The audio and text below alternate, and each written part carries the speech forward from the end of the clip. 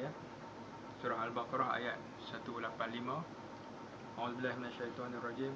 Syahrul Ramadan alladzi unzila fihi al-Qur'an hudan lin-nas wa bayyinatin minal huda wal furqan.